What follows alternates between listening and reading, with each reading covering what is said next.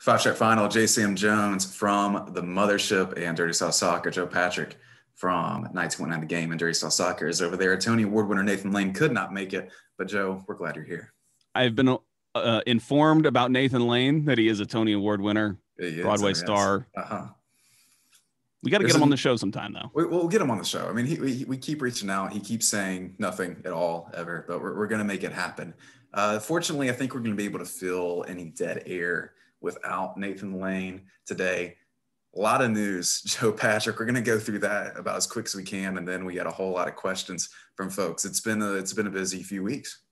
It has. We were just talking before the show. Friday night was a glorious night for, at least for me personally. I mean, I know a lot of our listeners here will have been happy with the the MLS news that came down that night that the players and you and uh, owners had come to a deal, but also Marcell Ozuna signed with the Braves. That was amazing.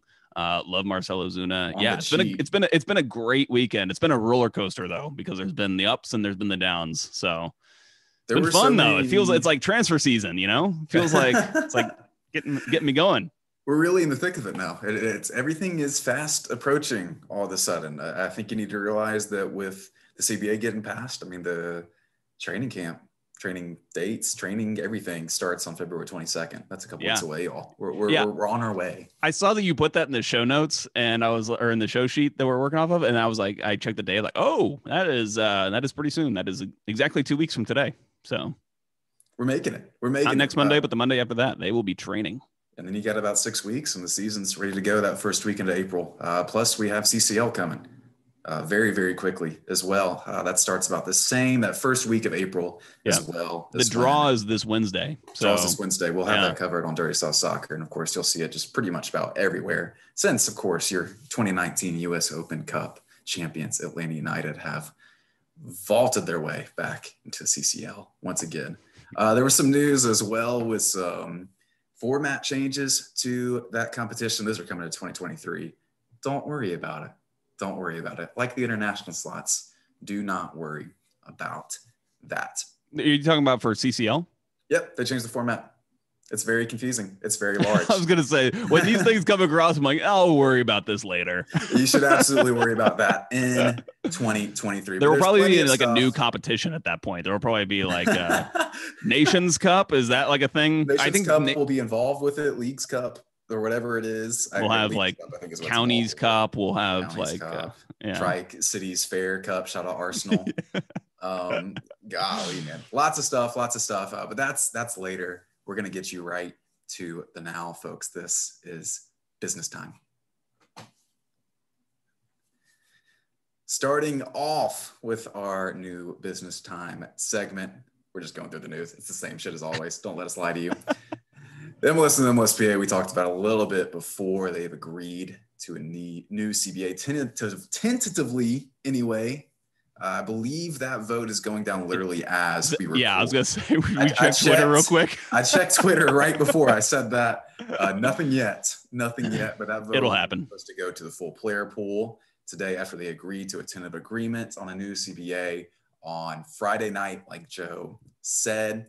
After that, it goes to the player pool. They just have to get a simple majority. So that's 50% plus one of the player pool to agree to it. Uh, if the MLSPA and their lawyers and their bigwigs and everyone has tentatively agreed to the CBA, that there's it'd be insane if the players came together and said, no, actually, we're, we're rejecting all of this. Uh, those guys are, are there to not worry about this kind of things. The MLSPA is there to worry about these things. It should be easy sailing from here on out, and we're going to have a season.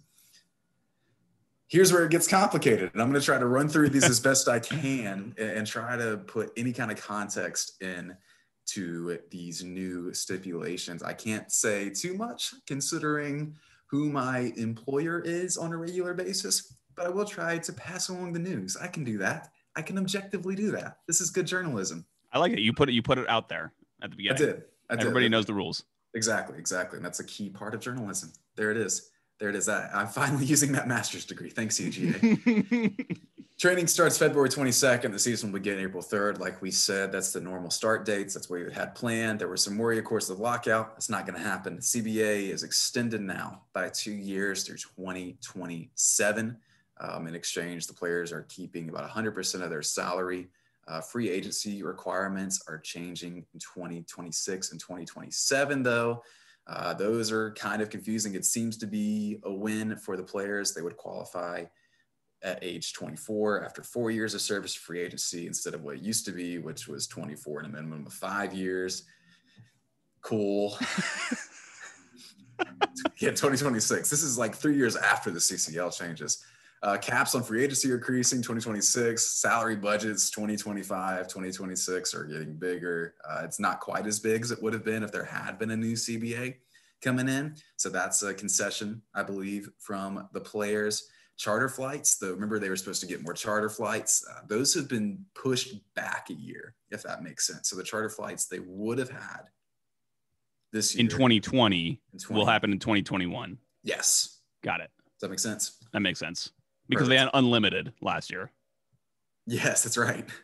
That's right. The 2022 allowances go back to 2023, 2023, 24, all the way through the end of the thing. That's gonna be. I feel like that's gonna be like a a, a hard slap of reality for the players to have to go back to like limited limited uh, charter flights. Yes. Sorry, to, sorry to interrupt your Possibly. flow, but that was okay. Maybe both sides. Who knows? Mm. Uh, players are also getting slightly less cut of media rights fees, uh, from my understanding. That's an annual media rights fee that is based on percentages. Blah blah blah blah. Uh, a lot of that's coming from Sam Stejskal and Jeff Carlisle doing the reporting on that one. We don't know the official terms yet. We may never know the actual official terms. I'm sure Tenorio and Stagecall have something about it though, and we, we can pretty much trust what's going on with that. That that's our loose rundown. Um, there's a lot more to it. There's a lot more that you really really shouldn't worry about. The important thing is soccer's coming back. A lot more bullshit. I'm sorry. Wow. I cursed. Seriously, when I read these things, I have no idea what they mean. I'm just like, if it makes the players happy, then That- I mean, that's pretty much it. That's pretty much it. Uh, as long as everyone's chill, everyone's agreed to it. I think everyone just kind of wants soccer. And again, I can't say too much on that. But but you know what? Screw it. Screw it. Here here's what I'm going to say about the CBA negotiations. I'm going to start with, and it's like I've been saying, Joe, this whole time, right? you miss 100% of the shots you don't take. That's exactly right. That was the lesson we all took away from that. I agree. I agree. Um, in more niche news, we're, we're going to move on to a whole lot of stuff happening in Atlanta United world now that we are going to have a season. It's going to be a season with a whole bunch of new players, it looks like. We're saying goodbye and hello to a lot of folks very, very quickly. And first, I think we're going to start with our biggest goodbye of all this offseason, I would think. I think this is the biggest one uh, Franco Escobar heading back on loan to Newell's Old Boys, reportedly an option to buy, and that Felipe Cardenas very much reporting on that. He's been all over it from the very, very beginning.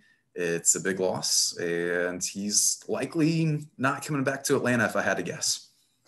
Yeah, I it's sad. It's sad. I have a whole take on this though. I want to talk about Franco because um I feel like the public opinion about Franco has kind of gotten out of whack um based on last Okay. season because last season was such a weird season.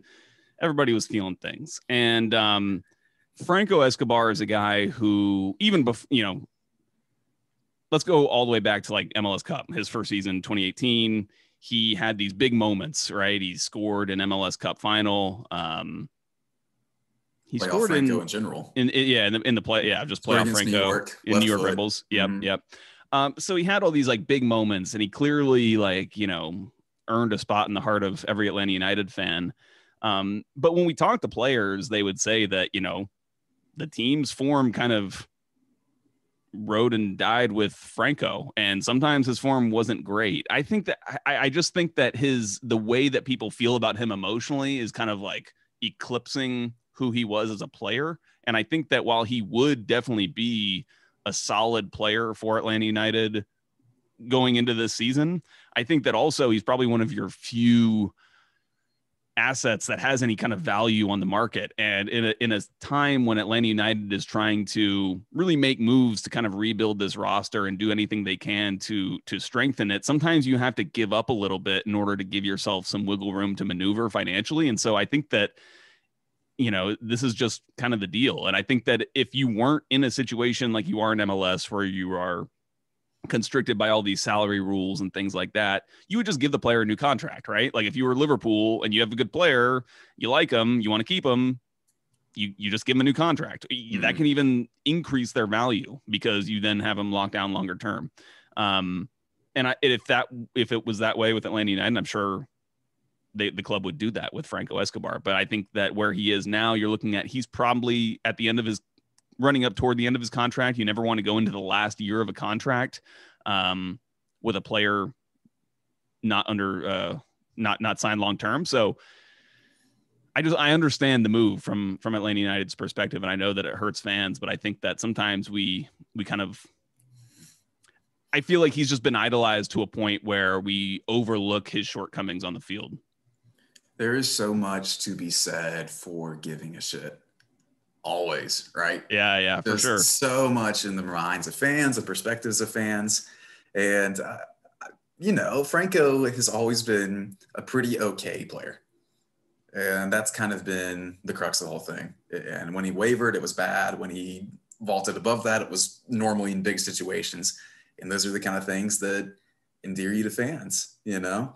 I think a lot of the frustration and probably more disappointment than anything is that I think a lot of us were interested to see how he meshed with Gabriel Heinze, especially just from a temperament standpoint. I think mm-hmm. as players, they they seem very much aligned in that chaotic evil mindset i think is where we'd put them on the on the nine square chart um so you know it it uh it's a bummer but i don't think it's the end of the world. Uh, you hate to see yeah.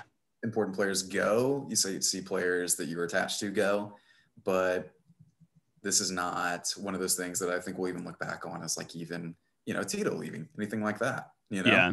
Yeah. I, th- I, I think at right back also it's a position where um, you can find players who can fill that role um, to a suitable extent um, that are going to be cheaper and just e- it's easier to find those players. Like there's just a bigger supply of players because the position doesn't really require um, the same kind of technical skill um, as you need for some other positions, like where Tito played, you know, further up in the attack. And, and I think that that goes to show, like that's why Franco. Um, is such an interesting player because he gave so much effort, right? Like to your mm-hmm. point, he gave a shit all the time. Um, and that was really his that was like the best characteristic that he had as a player. And that's obviously in for a right back, that's huge because the the the biggest quality you can have in a fullback really is just kind of like their athleticism and their endurance, just getting up and down the field all game. Mm-hmm. Um, but when you're looking at Franco Escobar in Gabriel Heinze's system, um, is he a right center back? Is he a center back in the back too? I feel like he's a kind of a tweener. You know, we talk about this in like basketball where it's like you have guys who are in the middle of different positions. Uh, and I feel like Franco Escobar is like that because he's not a out and out right back, right? He's not like a guy who's going to be whipping in crosses and doing that kind of thing. He's not an out and out center back. He draws lots of yellow cards, um, is very aggressive. You could be sent off in any given game. Um, and so is he only like is his best position as a right-sided center back in a back three? Like that's kind of very specific, and the team would kind of have to be oriented in a way to accommodate that kind of player. So I just feel like, given all these things, that um, the move essentially makes sense. So it's tough to see him go, but I think it I, I think it makes a lot of sense. I think it'll make even more sense. We have some questions later about okay. the lineup. Uh, and I, I, think once we kind of lay out how things might look under Gabriel Heinze, it, will make a little bit more sense too.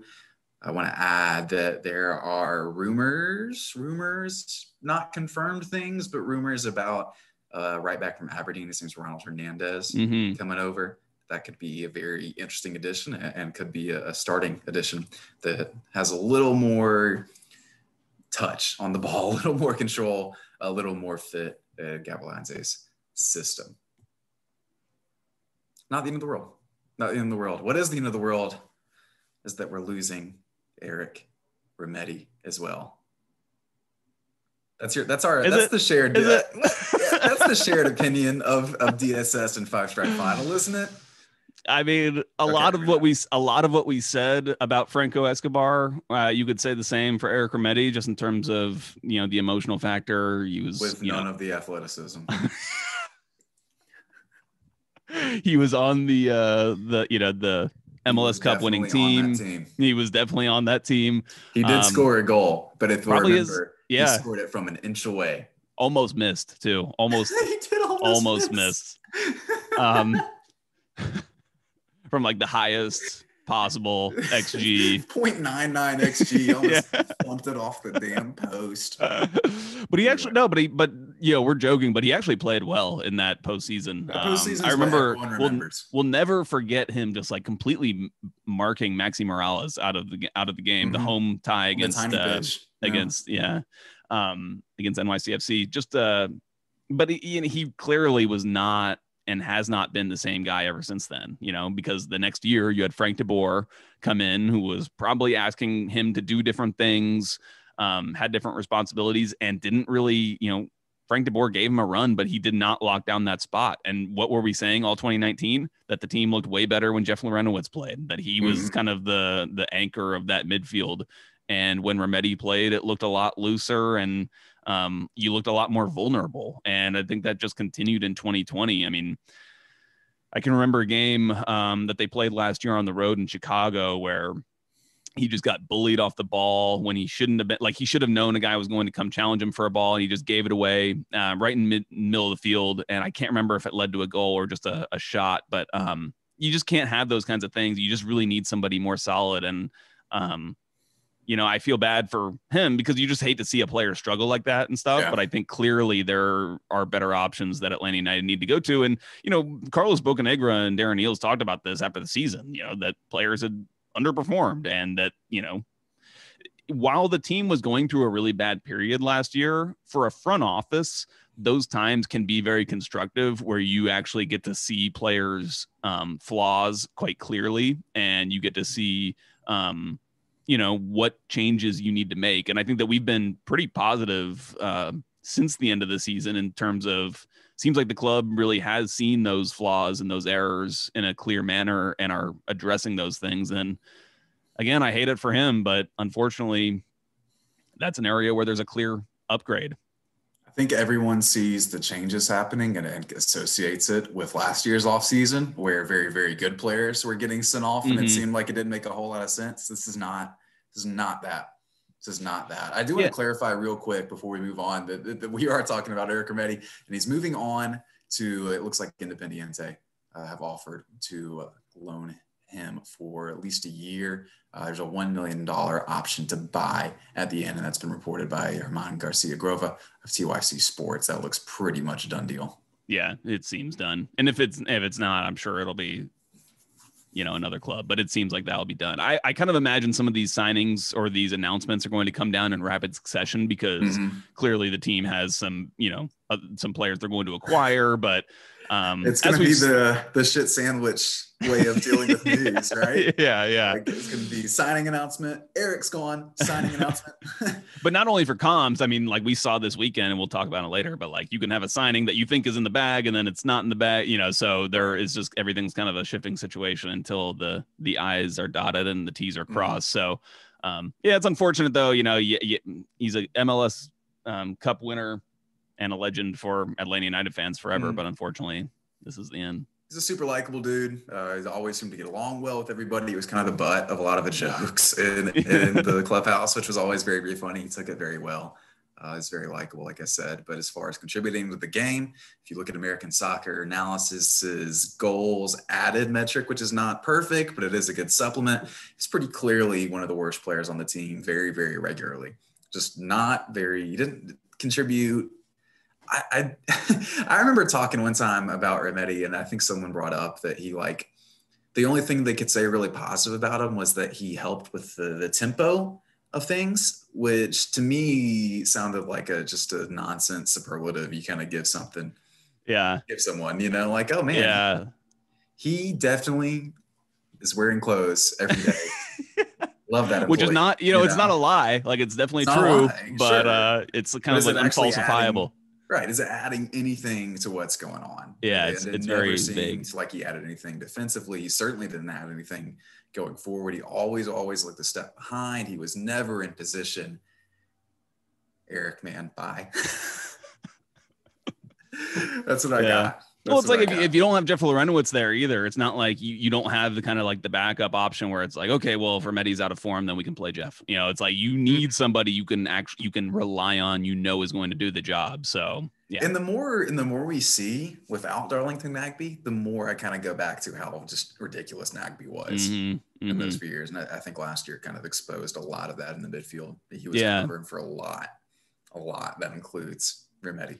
Uh, but Nagbe was a very underrated like defensive presence. Like he, Which is he amazing made... because we talked about him all the time and we still didn't get him enough. I know, seriously. Oh man. Well, at least there it seems to be reinforcements coming in. We're going to talk about a few of those in a second, but we do have to talk real quick and mention this in our business time segment about the dreams that never were, the dreams that came into our lives so quickly and then floated away. Uh, rest in peace, Atlanta United player Hector David Martinez. We we hardly we hardly knew you. Uh, really good center back apparently uh, from Defensa Justicia. Looks like River Plate swooped in and picked him up before we could, which I mean, there's a larger point I think to be made here that one, analytics and everything else and everyone involved with the situation seemed to indicate that he's very, very good. And if we had gotten him, it would have been an excellent addition. Uh, obviously, River Plate thinks so as well. But it seems that overall, this offseason, the the assessment of talent is getting back to a place where it seems a little more like the the pre Frank de Boer days. Yeah, um, you look at the the advanced analytics, and uh, you know, by every measure, at least the people I've talked to that are kind of in this world, they loved this signing. Tiotal Football, I'll just call him out because our listeners will know who he is. Um, is one like he was just ecstatic about this and i typically trust him when he says something like that so yeah it's uh like I, I, mean i have, have not been personally like scouting david martinez or anything um but yeah it seemed like a great signing seemed like something that like kind of just a perfect fit too for what atlanta united needed on the back line mm-hmm. um but yeah we kind of got rickrolled there didn't we we did, we did, but it, it's not the only move we're making. Um, and it, it, seems like they have another player coming in who can also play the center back position, but may fit in very, very well in a deep lying midfielder role, especially if we think about Gabriel Heinze and his tendency to drop a midfielder back in possession, turn that formation into 3 4 3. Santiago Sosa looks like he's on his way. Very much is on his way. Let's be real. Yeah. to Atlanta United. Uh, dude has already done an interview, like a man on the street type interview. It Looked like local news. It was it was a Harry Redknapp uh, car, you know, rolled down the car window. exactly, exactly. And they're like, "Where are you going?" He's like, "Well."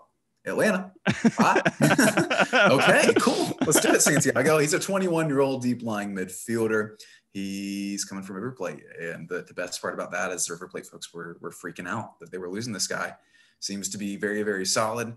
Um, could theoretically fit in as a U22 player under that salary cap stipulation, which allows us to bring in players for a big amount of money and not have them count as DPs for whatever nonsense math you want to do there to figure that out. But good news is he shouldn't cost too much as far as that goes to the salary cap. It could be a pretty decent chance transfer fee though. Yeah. Um, so you talked about, I want to talk about the tactical aspect of this. Um, you talk about he's a guy who could potentially be the one who drops into the back line to create the three. Like we saw that under Tata Martino with Jeff Larentowicz. Like, mm-hmm. so people will be kind of familiar with what that, that kind of rotation uh, or that kind of movement looks like. Um, that was mainly done in t- 2017. They started doing that before they just went full on back three in 2018.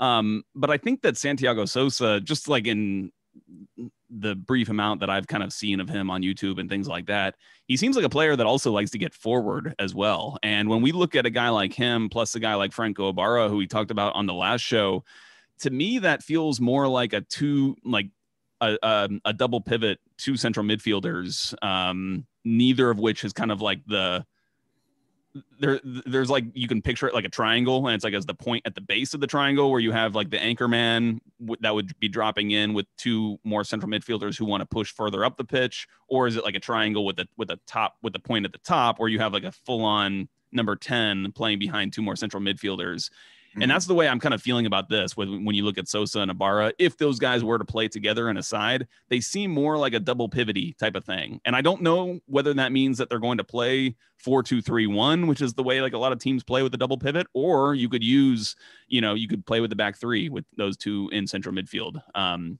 that would probably be like a little bit more defensive approach if you were going up against, you know, an LAFC or something like that. So, mm-hmm. um, it's interesting the way that the that the group is shaping up. And i do think that when you combine those two guys with we know that they wanted to get david martinez. So if they wanted to get david martinez it means they wanted to acquire another center back. Yeah. And then you would have a center back grouping of robinson who we know is going to start and then meza Will he? Won't he start? We don't really know. But then this guy would have started. So like, would that were they kind of aiming for a back three? I tend to think that they were, based on the fact that they were so interested in signing Martinez.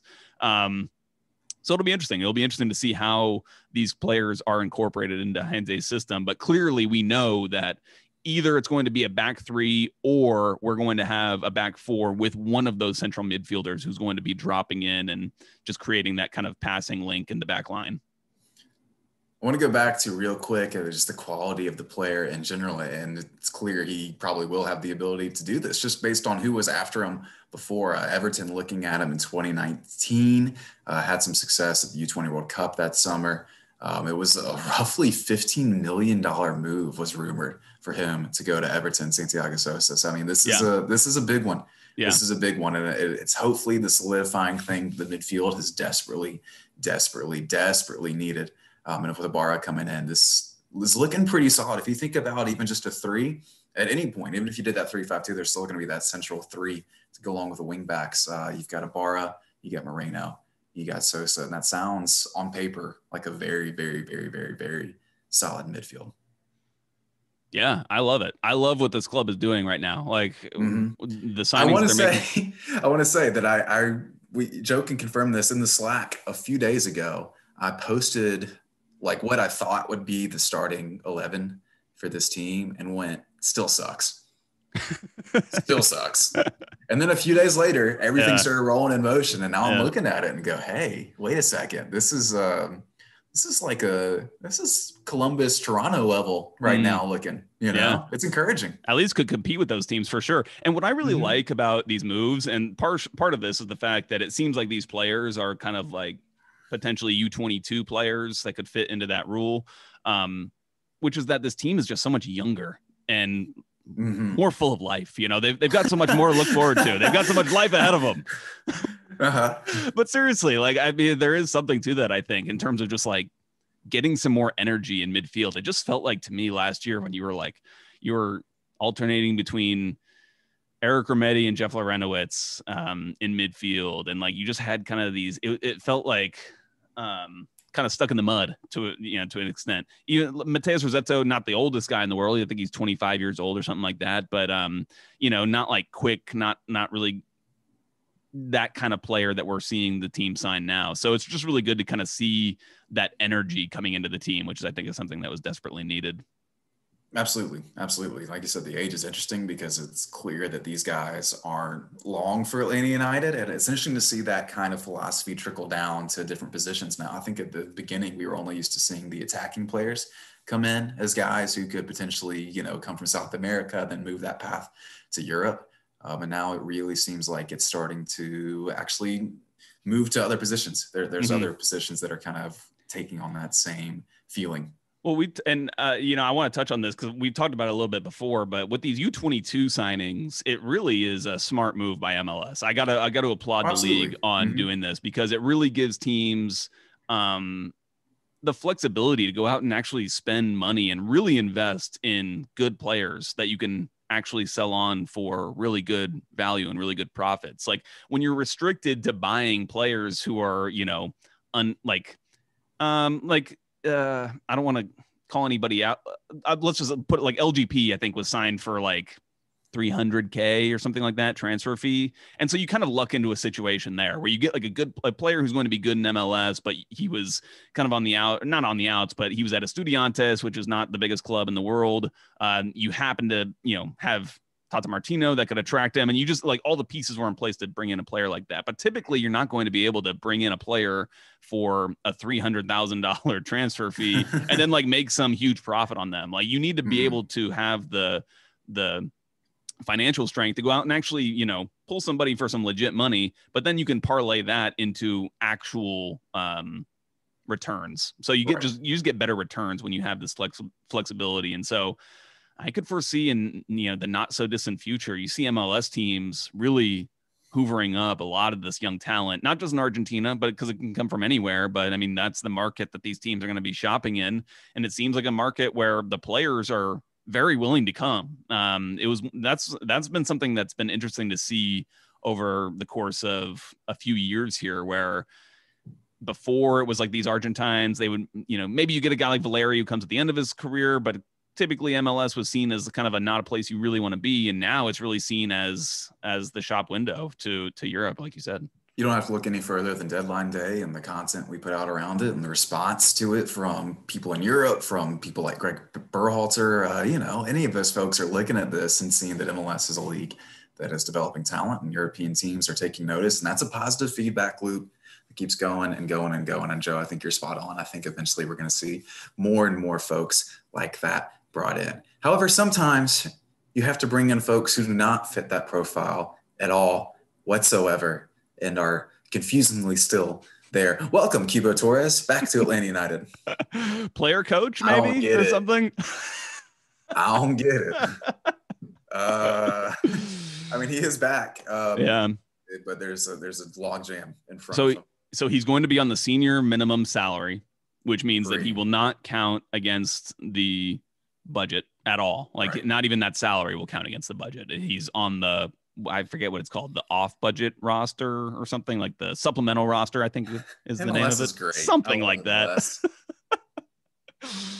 oh man, but yeah. So Cubo's back. I mean, uh-huh. to be fair to him, uh, if you're judging him based on last year, it's really tough because he was coming into the team from not playing and it was just very hard for him. He was injured. He, I forget what he hurt, maybe a knee or yeah. something, not long into his playing day, uh, into his at his actual playing time in Atlanta, and just never really gotten a rhythm. So um, he is younger than He's any like of us expected. That? Right? that was that was that was the breaking news from from that signing was that everybody actually found out how old Cubo uh-huh. Torres is.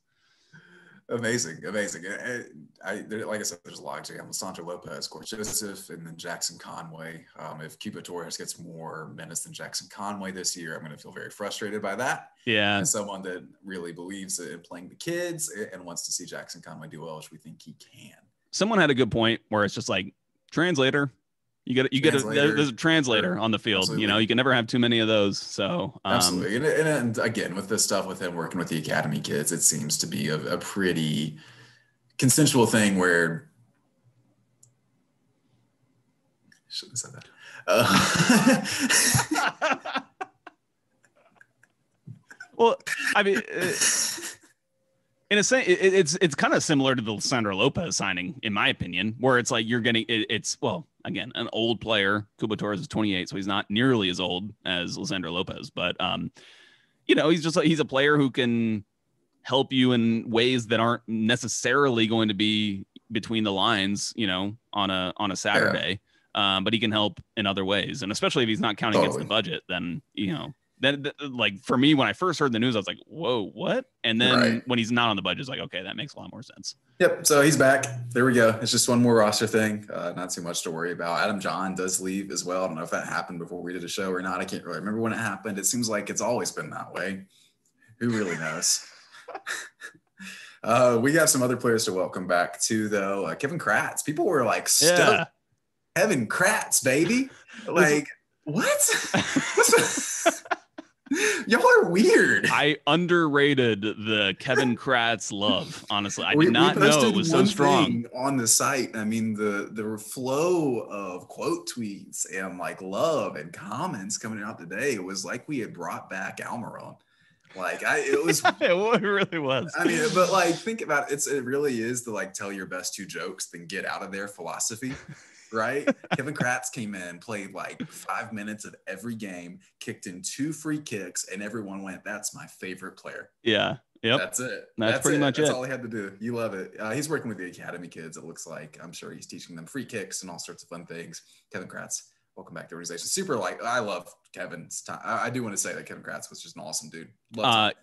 Yeah, he did one of my favorite interviews that I've ever been a part of. Honestly, uh, like media sessions. It was it was of MLS Cup week, and he was just talking about what it was like to experience playing under Tata Martino, and it was fascinating because Mhm. he's a guy who you know German comes from that kind of European style uh, approach to the game.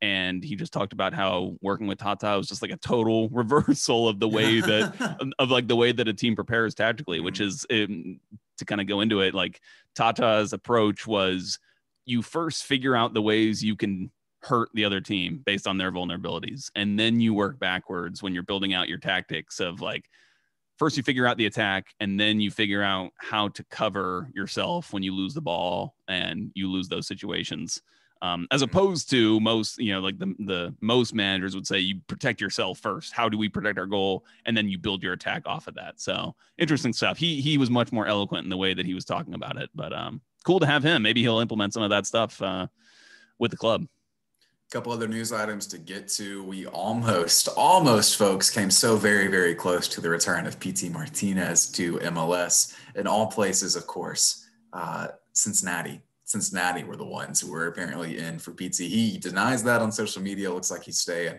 without Nassr. Uh, just a quick update on him: two goals and three assists in 13 games for Pity. And Al Nassr seems like things are going pretty much about the same as they've gone everywhere else with Pity. So there you go. There what you are the go. chan what are the chances they had a deal and then he like googled cincinnati ohio just like check it out Skyline chili. and I was like oh i'm fine here i, I love it here It's spaghetti? No. and left. That's, that's the whole thing. Um, one more final news item Atlanta United announces the only team to get a third kit, which is very, very funny. It's rumored to be maroon. There you go. That's all we really know about the third kit, but hopefully there's some interesting designs coming in. Uh, doing a plug, a quick story I did on Philadelphia's new uniforms where they brought fans into that entire process. Thought it was super interesting. Had them sign NDAs and everything like that. Um, hopefully, Atlanta United maybe can get on that same kind of path where they really get the folks, uh, the fans involved, you know, and making those kind of decisions could be a lot of fun. That's on MLSsoccer.com. That's on the mothership. And that is business time done and dusted. Woo. To the questions after a quick break. That was like my my Ira, what's his face, NPR voice at the end there. ira After- yeah what's his name A quick break. This is Five Stripe Final. anyway, dude, my favorite my favorite podcast voice is michael barbaro I'm i'm michael barbaro Michael Barbaro, and It's like his his voice is Today's- like right up against the topic today. is GameStop. This What is what is happening? I fucking hate it. It drives me insane. But I listen to that show every day. but it's I don't know. oh, like- you gotta listen yeah Yeah. Who's the idiot? It's not. It's not Michael Navarro. That's for sure. Alrighty. um where's my time it's not keeping my I'm at 38. Oh, uh,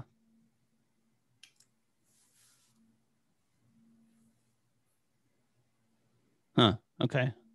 This is weird.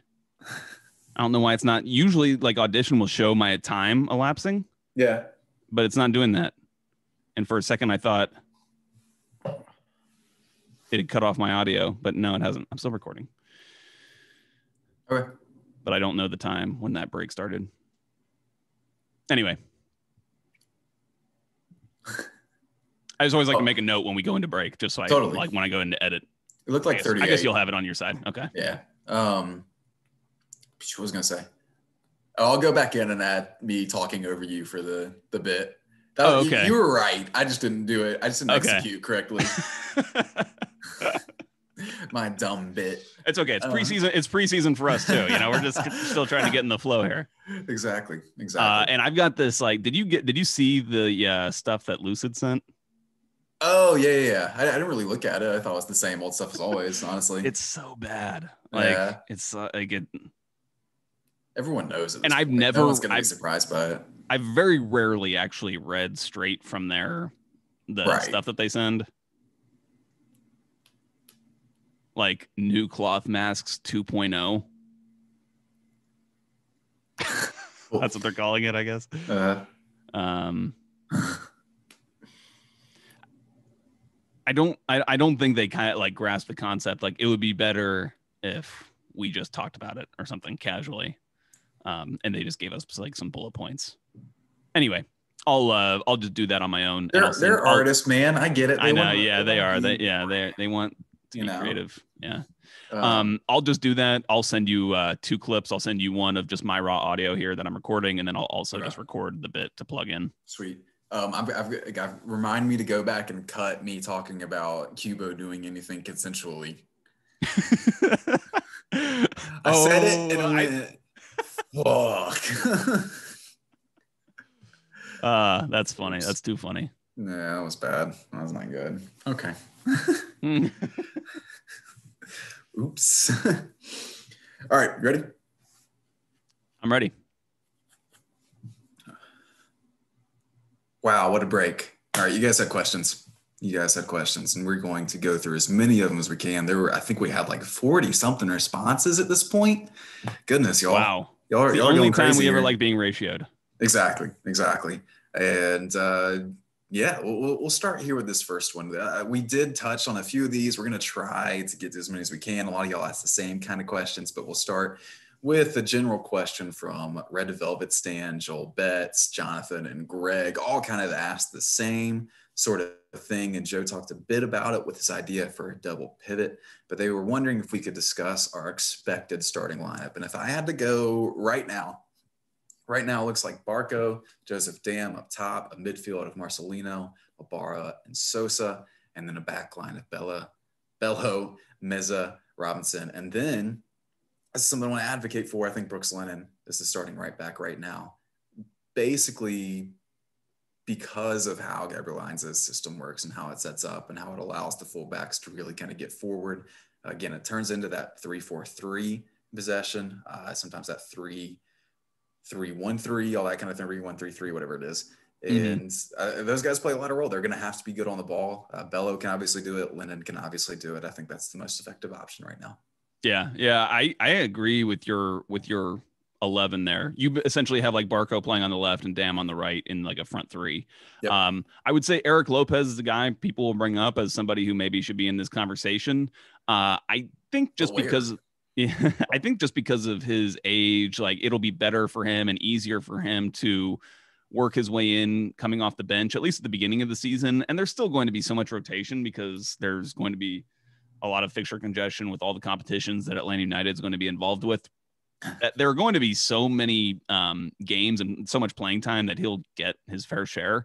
And honestly, like I don't know if even it, it, it's a weird question because Gabriel Heinze will not know his best 11 when he starts, you know, when he rolls the ball out there for the first game, the second game, the third game. You know, he Yeah. probably won't know until the very kind of end of the season what his best lineup looks like. So it will be interesting. And I think that what's fascinating about this is that all these guys have chances to kind of work their way in or out um, of the lineup. But I think that what you have set here, um, what you just outlined, is I, I would totally agree with that. I think I would say Lennon is the right back as well. I know Jurgen Damm has been a guy who people have kind of wondered whether he, not he not that he would play right back, but would he play right wing back? Mhm. That is a possibility, I guess. But right now, I'm not accounting for that. Like I I'm just that. I'm only put, slotting him in as a potential right winger. So, pardon, I've got a siren going past me.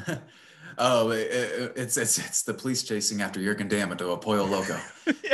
Um, so yeah, we'll, we'll talk more about Damm in a second. We had a few questions as well on that, but we have an interesting question here from Jake who asked, who's essentially assuming the same thing as us, that Marcelino Moreno is making his way into the starting eleven pretty easily. Of course, he should uh, as as a DP player, uh, but he wants to know about the potential of Marcelino in Heinze's system doesn't feel like he's heard too much about it and how he will fit. And it's a really good question. I think that's maybe the part where I'm most unsure of is the the midfield central two in that three four three. I know they rotate in and out a lot. It's all about kind of coming back to the ball, rotating in and out, um, and making triangles that way. It's a very very fluid thing. But my thought is who will be the guy tasked most with progressing the ball forward from the midfield. Yeah, I think that's right. It's, yeah, especially he's a guy who can really carry the ball. We saw that when he first came mm-hmm. into the team. Like he can do kind of is uh, very Almironish in the way that he can just receive the ball, you know, in his own third and just literally and just sprint up the field with it, which is a very easy, convenient way to progress the ball when you don't have, especially when you don't have a team full of like you know intricate passers. So um, I think that his potential is very high. So the the the thing about Marcelino Moreno, I think the the kind of the guiding characteristic that we can we need to think about him is he loves to take players on. Like when again talking to Tiotal Football when this signing was made last year, he was like shocked at uh, I think he may was like led the league by a large amount of his like average take-ons per game and average dribbles per game, but he's not super successful with them. Like not like at a extremely low rate, but just dribble success is just something that you're never going to have a super high percentage of doing so unless you're Lionel Messi or something. So um, he's a player who's going to try things. And I think that that's what Atlanta United needs because like Barco is a guy who we see oftentimes get the ball and he kind of, he wants to kind of wait and pick that perfect pass. And I think that Marcelino Moreno is going to be a guy who's a little bit, um, just like a, a, nice kind of difference to that style where he's just going to be more aggressive and assertive in taking players on, especially in the final third. So, um, I really like the prospect of like him and Barco and Bello kind of linking up in kind of that left channel. When you think about Bello would be the guy who's kind of overlapping, giving you the width.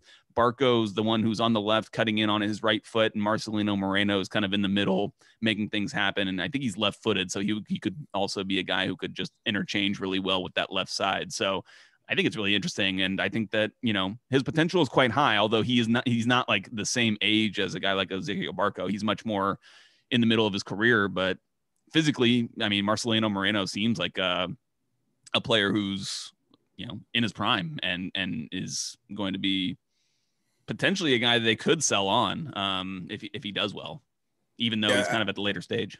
I think the main answer to to how he will fit is well.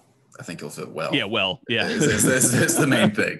Um, we'll figure out the the more detailed part of it as we kind of go along here. And, and like Joe said, yeah, Berlanza will too. Uh, but we might not be done. That might not be our final 11. That might not be even players who are even left by the end of this thing. Uh, there's still a lot of offseason left. And we have a couple questions about transfers coming in. And I'll start with this one from Payson, Jake, and Michael, uh, who all had the same kind of thought with Martinez deal falling through. Do you think they're going to keep searching for a center back to pair with Miles. And I, I think that, I think we've already hinted at this, but I think the question there is is kind of twofold. It, it obviously comes back to are we going to be in a back three or three center backs? Um, and if we're in a back four with two, is that center back we're bringing in going to be someone to replace Meza or back him up? Mm-hmm. Right. Yeah. I don't think they're locked in necessarily to the center back position. You just need somebody who's comfortable um, in that role. So, like, a Jeff Larentowicz style of player, somebody who can anchor in midfield and drop in and be that guy. That could be a type of player they go out and get in, you know, w- with Martinez out of the picture now. Um, so it's, it's not necessarily like you're looking straight at center backs, but you still need some, you need somebody who can do center backy type of things in terms of, you know, defending and being able to kind of pass the ball around the back, which Martinez was apparently uh, quite good at. So I don't think that they're necessarily will have to go out of center back. It just depends on what the market looks like, and they would have a lot. I don't really have any insight in terms of you mm-hmm. know what players may or may not be available out of that South American Argentine market, but not necessarily. I would say. I will say, guys, we're never going to be able to answer like what player do you think they're they're looking at right yeah. now because there are quite literally like thousands of ten thousands of players that exist in the, in the world. We, we just don't know how to really narrow it down because it'd be insane to try and do it.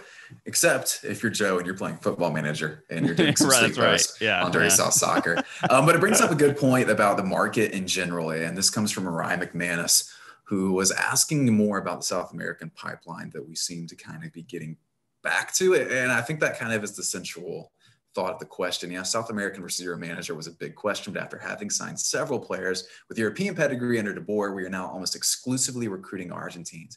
With the benefit of hindsight, did our vaunted South American pipeline dry up under De Boer? And I want to point out something real quick and say that I don't know if necessarily we were pour, pouring in, pulling in more European folks necessarily. Um, I think it kind of seemed like that, maybe because more of the prominent folks, uh, Hyndman, Mulraney, uh, were coming in from Europe. But I mean, if you look at it, the, the signings that were brought in that weren't MLS guys under Frank de Boer, boy, this should tell you something as I'm looking at this list. Um, Hyndman, Europe, Mulraney, Europe, Dion Pereira, Europe, and then Florentin Pogba were the European dudes. Um, then you got Meza from Mexico, uh, Rossetto, Castro, and Erik Lopez, all from South America. Those, are, those are your Frank de Boer Jesus yeah, and Jurgen Damm and in Mexico as well. Jurgen Damm, yeah. I, I, couldn't remember when exactly he came, and I forgot to look it up.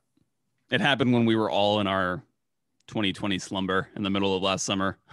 That's right. Nobody That's right. Want, was or wanted to pay attention. Um, this is, I think, one of the most interesting questions around Atlanta United um, and the club's history. Um, it's something that I've talked a lot about with Felipe because, you know, I remember we talked about um, at Frank DeBoer signing, there was like obviously like the culture clash, and we've talked a lot about this on this show as well. Just kind of like that, kind of the weird culture, the weird vibe, um, and it did seem like something that the club was making. Um, they were really trying to um, decouple themselves from being tied to like this Argentine talent pool, both in terms of the players and the manager. I would say um, they wanted to kind of like broaden their horizons, expand their network um, in both players, coaches. We've seen that they've done this deal with Aberdeen in Europe. Um, so they've done these different things, and I think that what we're seeing is this year they're going back to. Um, they're not like as concerned about that aspect of it. It seems like they're much more focused right now on just acquiring the best talent for the best money. Like there aren't these other considerations involved. Um, mm-hmm. and so I, uh, that's kind of like where I'd leave it. I wouldn't say that the South American pipeline ever dr- like dried up. I don't know if that's the way I would f- have phrased it. It was like a conscious move to go away from it is kind of how I understand the situation. And now they're, they're going back to it. Yeah. I'm generally not sure how much of that is on De Boer. Yeah. how much of that agree. is just missing on Rossetto and Castro. Like if those mm-hmm. guys were good, maybe we're talking about how great our South American pipeline stayed under De Boer. You yeah. know, these guys haven't been good. Yeah. You know, and, and I think that may be the big thing is I don't know how much, um, and we don't know yet how many avenues having Gabriel Heinze has opened up into better South American Definitely. players. We're assuming that's going to improve though. And, and it seems to be the case with who we're targeting. Um, and I'm again, I'm not sure if that's just because of who was identified or because it was completely impossible under De Boer, and we may never know. And well, and it is interesting if you think about it, go back to that video where they with the club kind of took you behind the scenes. Uh, and I think I think it was in that video, you know, what I'm talking about when they were like in the airport going down to meet with uh Gabriel oh okay. I, for that, some reason i thought you were talking about frank de boer's first meeting oh no. where he asked julian gressel a question julian gressel just stared at him like what are you talking about? Anyway continue. Something about the hunted or something. Um yes. but he said but darren eales said that they were going down to look at meet with coaches plural um not just one coach which would have been gabriel heinze. Um so it does seem like maybe uh the manager if it wasn't Gabriel Heinze, the manager would have been another man, uh, somebody else from from Argentina, which could mm-hmm. have opened up doors. Um, maybe maybe maybe it plays a role, but I get the sense that it was uh, kind of an overall club move to kind of go away from just kind of restricting themselves or constricting themselves to that region and again, it goes back to the, the overcorrection thing. You know, they're going to come back from this now, and it, it's almost certainly going to be some kind of a form of overcorrection, I think, from Frank de Boer, because you have to get the PR back. You have to get that feeling back. And so, what you're going to do is you're going to go away from anything kind of even tangentially related to, to that philosophy, right? You're going to come back and, and really go after the folks that are going to make people feel warm and fuzzy about Atlanta United again, which are the, the South American guys. It, it's yeah. just kind of how it works right now. Um, and I and I wonder, talking about that, like I mm-hmm. wonder if for the players, if, if you know the ones that have been around for Frank De Boer, where you know the the reports were that it was kind of like under management to an extent like there Mhm. was not as much like it wasn't as physical uh, a lot more time off um, not as much like direct instruction and that kind of thing as to whether like the players will have to deal with a different approach on the field to the way that Heinze will want to you know manage this team which is going to be high intensity lots of instru- like that kind of thing so Right. it'll be interesting Yeah, and again, not to say that like overcorrecting is bad or anything like that. I don't mean it in the sense that like they're going to overshoot the mark and end up in a Yeah, bad yeah. place. I just say that I think they're swinging back the other way, Mhm. and that's just how it's going to kind of be for at least a second. Anyway, and hopefully going forward, honestly, like you, you look back to what we said initially with the DeBoer hiring. What I remember saying, I remember going on 929 after MLS Cup. And the first thing I said was, "Got to get a South American manager. Just got to Yeah. do that, right?" Yeah. Um, and it, it didn't didn't work out that way. So I mean, we knew from the beginning. We we had thoughts about it from the beginning, and clearly it took a risk. It didn't work out, and now we're getting back a little more to normal. It seems like, at least in Atlanta United world. Uh, there's still maybe some changes coming though, and it, we want to hit on this as best we can. But please keep in mind that MLS roster rules are dumb. No one knows how much allocation money Atlanta United actually has, and we don't really know how any of it works because they don't know how any of it actually works. So, what I want to talk about here is a question from Jake. He asked, What's your opinion on Damm starting caliber, or does Atlanta need to go out and get a right wing? Um, and, and my thought here is there is a potential world, there's a potential universe that exists where Marcelino Moreno gets bought down with allocation money from that DP spot. And there is a DP spot available to go get a right winger. And I think if you add that in with all the other pieces right now, uh, if you assume that like Hernandez is coming in at fullback and everything like that, if you add a DP right winger right now to this team, that's something real scary. It is. Um, you know, Yes. yeah, you, it's always it's always nice to like think about the idea of adding an attacking player like that for sure. Um, but I would say, you know, my counter to that would be that um it may not be the the best allocation of resources uh Mhm. because you have you do have Damm, you also have a guy like Erik Lopez who is more of a creator type. Um, maybe is See, a this is bit where we're going to disagree because we don't know anything about him. is Oh yeah, The- all, and back to all all the, these all opinions are based off of uh, one Yeah. like sixty minute performance in a in a friendly, essential, a glorified friendly. Uh-huh. Uh, yeah, so already declaring him uh, borderline starter, all that jazz. Yeah, I guess to your to your point, like if if that is the the approach you're taking, then yes, you you may not have as much depth there as you think. Um, Mhm. uh, so he would be a, uh, somebody you look at. I think that see, it's interesting because I think that if the team were to have signed Martinez, I'm not sure this David Martinez guy. I'm not sure Yeah. if he would have um, uh, been a U22 player because I think he's 23, and I'm not sure if the date would have. I'm not sure when his birthday was. If if he could have been squeezed Yeah, he, into he's that rule. 23. That's right. Yeah. Yeah. So th- and that would have been I think it was rumored for like a three three and a half million dollar deal Yeah. which would definitely put him in TAM solidly in like a as, as like a solid TAM player, uh, which may have which may mean that if you do that, then you are not able to buy down Marcelino Moreno, which essentially means that he like you're, essentially he's like oc- occupying a DP spot if you if he were to come in. Um, so all that to say, it seems like the club was is not kind of looking at that route at at, at fortifying the right wing position with that kind of player. Mhm. Um, but yeah, I mean, to your point, if you don't know, if you don't feel comfortable with what you have in Erik Lopez, then maybe that is something that you want to address. And it does certainly seem like they're they do need to add some sort of winger, whether it's a uh, whether it's a, a starter or a depth piece. I definitely think that that is a a position that needs a little bit more uh, depth. Wouldn't you love to have Tito Villalba coming off the bench? Ooh, ooh, that God, would be man. tantalizing. Golly, I'll, always go back to that one as being the one that really indicated things were, were getting weird. But Yeah, and shout out to Felipe by the way, who did a great piece uh, catching up. oh with, yeah, totally. catching up with Tito. That was that was a that was a really fun read, and it was good to kind of hear that he still thinks positively of his time here and all that jazz. Absolutely, absolutely, and I think we maybe need to go back to the original question too, uh, and just kind of answer that. What would are your thoughts on Damm? I've I've kind of repeatedly said that I'm still not convinced that Jurgen Damm is actually good at soccer. um, no, there's been no real evidence to prove that he is, and he is at that kind of level. Uh, but he might be the best option right now. And if you have that kind of speed, I guess that's not a terrible option to have. hmm Yeah. Yeah. To me, he is a, he's definitely a very flawed player who will frustrate people like to no end during this coming season. Like, I'm sure people will be like tearing, pulling their hair out at times. it's gonna be awesome. yeah, I know. Seriously, cannot wait for that. Ser- like, le- legitimately cannot wait to watch that. Um, but I also think that his, you know, his strengths, obviously, and his speed is a functional characteristic that is going to help the team. Like, if you have that aspect to your game, like we saw. I mean, Tito Villalba was that kind of player for a long Yeah, time. Like he was just sprinting down that right side, and he wasn't the most gifted like crosser of the ball. Uh, we knew we know he could rip a shot, but like passing wise, he wasn't the best.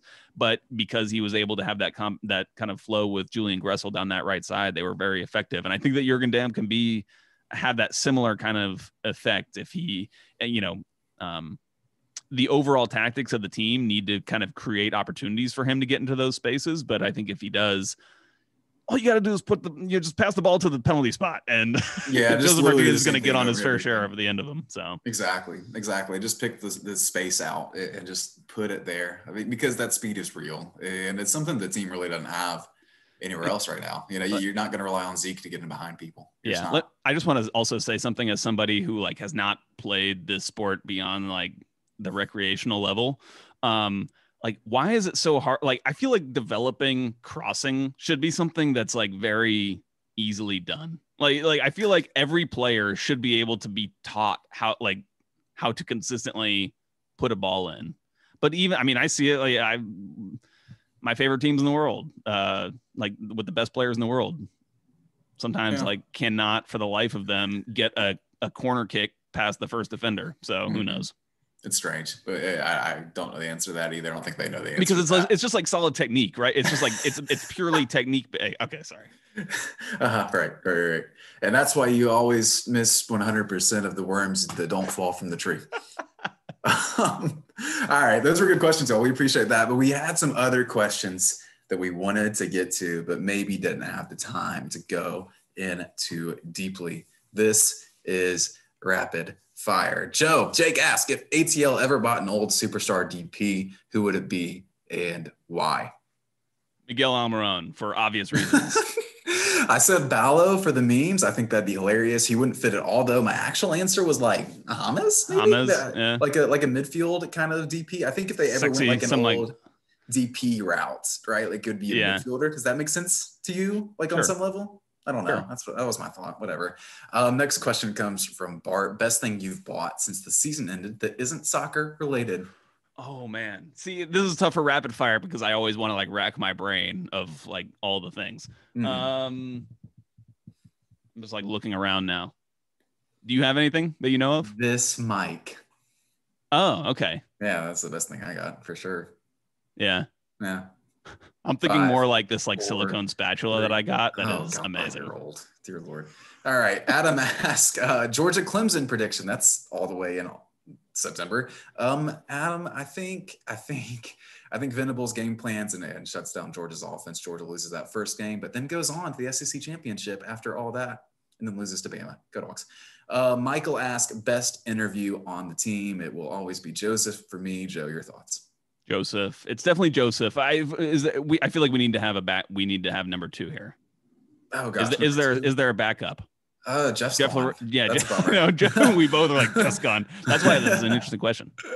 um man uh uh, uh Jurgen maybe uh, maybe, fun. maybe, yeah, He's maybe fun. Jurgen, maybe We Jurgen. like him a lot. That's something we didn't mention our Jurgen Damm segment. That he Yeah. is super likable, and he like lives for Atlanta United now. Apparently, he's going on like Mexican radio stations and talking about like, man, if they Yeah. get him a salary cap, Atlanta United come down here kick your all's ass. Somebody, so I My don't, dad could totally beat up your dad. I don't pay attention to like Instagram or TikTok or anything, but somebody posted a picture or a video of him like shopping. He was like at a grocery store. He's like at a Publix or something, and he's in his full Atlanta United like training gear, the Atlanta United mask. Like he's like, that's definitely like that's an Atlanta United player.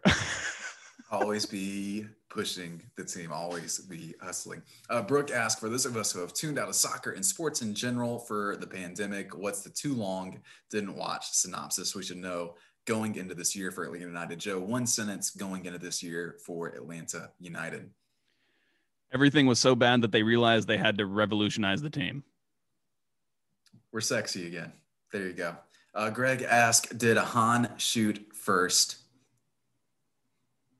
Do you know what he's even referring to? Yes, yes, he did. Yes, he Yes, did. the Well, yes is on the sh- yes is on the yes is on the show sheet. Yes is the the answer on the show sheet. Let's so I'm not going with yes. the character. Come on, let's let's think about the character development. It's much more powerful if his redemption arc includes him being a bad person at the beginning. All right, that was Yes. We did it. We got through all of it. We got through so many questions today. I'm very proud of us. It's like an original was Five good. Stripe Final episode. Uh, very very happy with that. Uh, Joe, any last thoughts before we get out of here? My only last thought is that I am very excited to be doing a lot more of these coming soon. I know that people have been uh, giving us a hard time for being so sporadic with these, which I totally understand because we have been very sporadic, but we don't want to do shows when we don't have anything to talk about. So it's so great now that we have news coming in and we will be bringing a lot more to you guys soon. Lots of big things on the way. Stay tuned for a couple surprises as well. We're, we're looking forward to them. We're looking forward to them. We think you will too. Uh, season starts April 3rd. Training starts April 22nd. We're closer and closer and closer. And we'll be with you for the entire year. Looking forward to it. We love you. Bye, y'all.